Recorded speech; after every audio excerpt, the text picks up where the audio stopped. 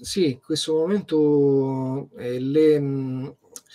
la grande finanza cosa ha fatto? Praticamente ha costruito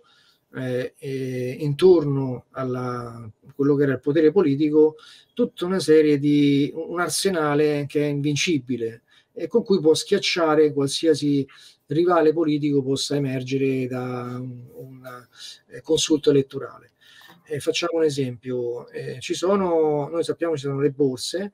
eh, però mh, magari le cose che sto dicendo non sono chiare a tutte perché chi le ascolta eh, per la prima volta ha un'idea completamente eh, utopi, utopistica e falsata della realtà, cioè eh, dai libri di scuola noi apprendiamo che c'è un libero mercato e, e quindi la libera concorrenza, quindi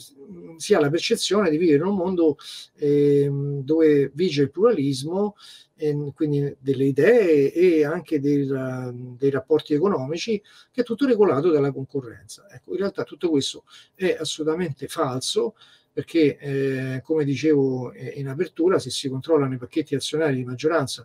delle tutte le grandi multinazionali, ma non solo di, un spe- eh, di un singolo specifico ramo, di tutti i grandi rami, quindi automobilistico, eh, finanziario, farmaceutico e così via, Ecco, ritroviamo sempre eh, gli stessi grandi fondi comuni di investimento che appartengono stessi, eh, alle stesse eh, grandi famiglie. E tutto questo ovviamente eh, dà un potere sconfinato a, a chi eh, ne ha il controllo.